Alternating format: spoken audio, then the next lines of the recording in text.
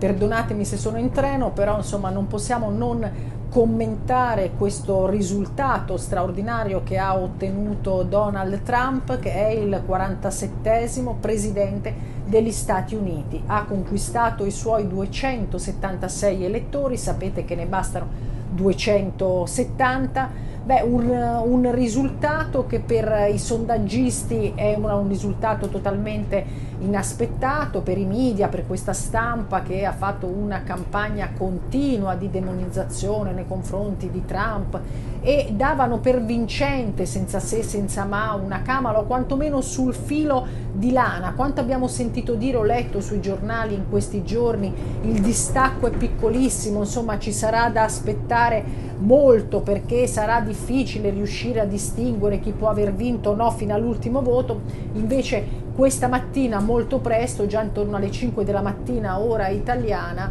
già si sapeva perfettamente che sarebbe stato Trump il vincitore assoluto. La cosa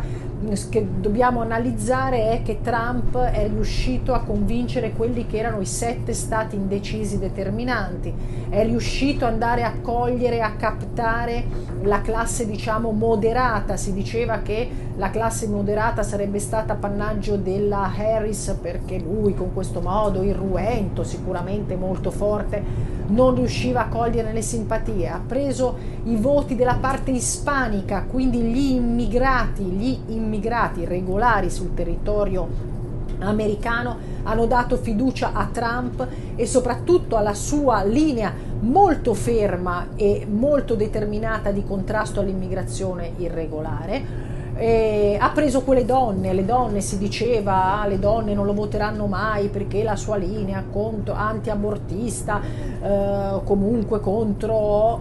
non porterà voti delle donne. E così non è stato. È stato veramente, si può dire, un plebiscito, una riconferma senza se, senza ma. E ci sono, io vorrei andare più che analizzare i meriti eh, di Trump, a cercare di capire quali siano stati i demeriti per una debacle così da parte della, così, della favorita Harris, quindi è una debacle chiaramente di tutta la sinistra, c'è una continuità nel messaggio che stanno dando, a questo punto si può dire in tutto il mondo, non solo in Occidente, nella parte europea, quindi non solo l'Europa che vira a destra, ma oggi anche l'America ci sta dicendo che la tendenza eh, continua. Quali sono i cinque, io ho identificato un po' cinque punti di demerito della Harris che vorrei analizzare con voi. Eh, il primo, semplicissimo, non era un candidato all'altezza, mancava di sicurezza e di preparazione, ma questo si è visto in molte circostanze pubbliche, al di là dei comizi,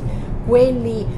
voglio dire, i suoi preparati, dove mostrava una certa sicurezza in quello che diceva, quando si trovava a dover affrontare anche delle interviste fatte da giornalisti con domande estemporanee, devo dire che si è sempre trovata in grande difficoltà, quindi non aveva una preparazione che gli è stata riconosciuta come tale per poter diventare presidente degli Stati Uniti. Secondo eh, punto di demerito sicuramente, o comunque seconda motivazione, il record negativo dell'amministrazione Biden-Harris, cioè avrebbe c'è stata una domanda durante una, un'intervista che le, è stato fatto, che le è stata fatta, hanno detto lei avrebbe cambiato qualcosa rispetto a Biden in questi quattro anni? La risposta è stata non so, non saprei. Quindi questo dimostra che eh, ha accettato to cure tutto quello che ha fatto Biden, quindi sarebbe stata una sua copia, una sua totale controfigura. Ed evidentemente gli americani, gli americani non sono così soddisfatti di questa amministrazione che c'è stata al punto di non, non ridare lui e quindi lei in sostituzione questa fiducia. Poi non, non, dimentichiamo che un fattore determinante è anche la personalità di Trump. Eh, la personalità di Trump è dirompente, Trump ha quel quid in più, Trump è quello che dopo che ha subito l'attentato, che sanguinante si è alzato col pugno, fight, fight, detto forza, l'America si rialza. Ecco la metafora di quello di cui hanno bisogno gli americani, hanno voglia che l'America si rialzi, si rimetta in piedi, un'America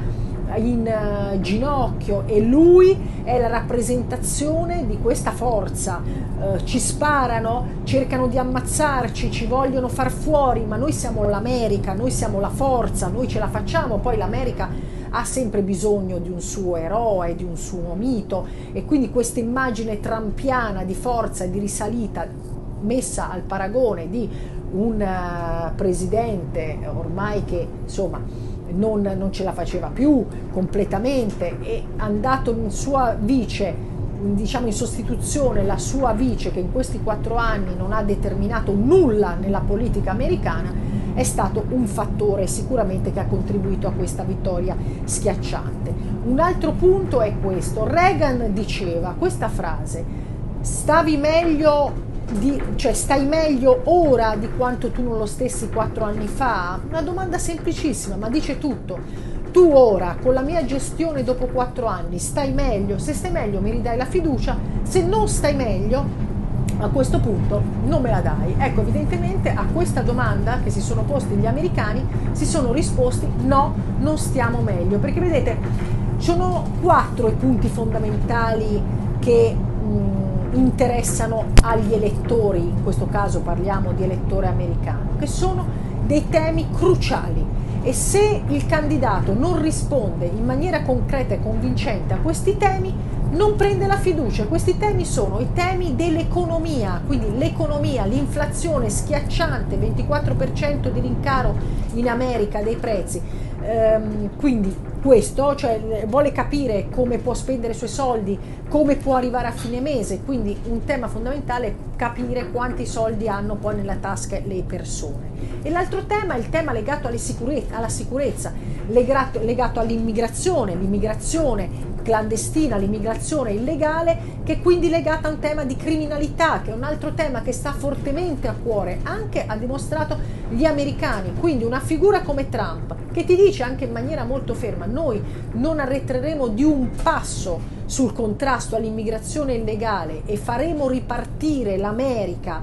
l'America che tornerà a, a splendere, l'America che ripartirà, ecco quel turbocapitalismo e sapete insomma che se parte l'America poi eh, va bene l'America, va bene per tutti noi. E quindi gli americani hanno guardato questo, gli americani mh,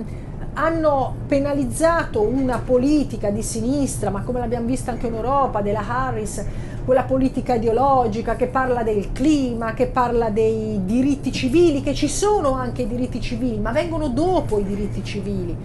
tu non puoi basare tutta la tua campagna elettorale sul discorso dell'aborto, che è un tema che indubbiamente sta a cuore le donne. Io sono la prima a dire che è stata una conquista enorme per le donne il diritto all'aborto, però non ci puoi, non ci puoi fare una campagna elettorale perché è un tema che eh, scuote le singole coscienze, le singole sensibilità, non è un tema nazionale come può essere il tema dell'immigrazione, della sicurezza, dell'economia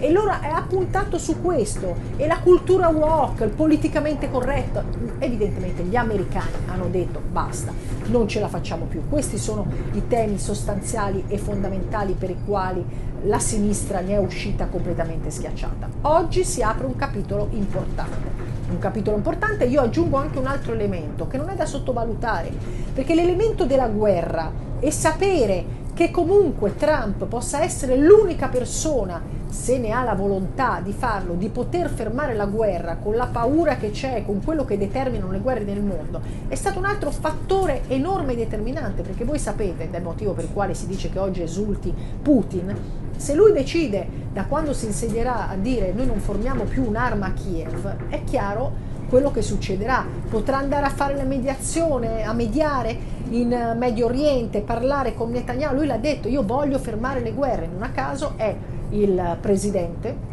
meno guerrafondaio che c'è stato nella storia, perché nei suoi quattro anni della precedente eh, presidenza non ha fatto una guerra, quindi è per la pace e oggi c'è voglia di respirare pace, perché siamo minacciati costantemente dalla paura di una terza guerra mondiale e dal ricasco economico che queste guerre ci stanno portando in casa. Altro elemento che insomma non dobbiamo sottovalutare è che chiaramente Trump è al secondo mandato, c'è il limite dei due mandati, quindi non sarà in futuro ricandidabile e quindi non farà una politica di consensi, che cercherà i consensi, non ha bisogno di trovare consensi che gli possano servire per, seconda, per un secondo mandato. Quindi oggi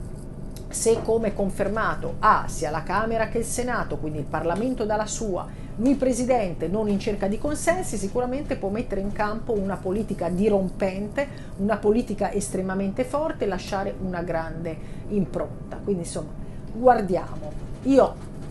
non ho mai negato eh, il mio endorsement tra di me e me eh, di Trampiano, quindi sono, sono sicuramente curiosa e devo dire la verità anche molto contenta di come abbiano scelto gli americani.